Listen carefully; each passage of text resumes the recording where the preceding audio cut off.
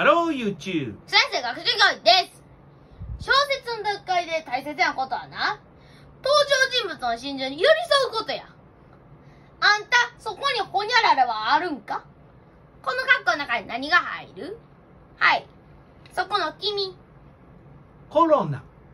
コロナ。なんでやねんほんまびっくりするわ、もう。登場人物の心情に寄り添ってって言って聞いてなかったよ。愛が一番愛ふる。ではいってらっしゃい。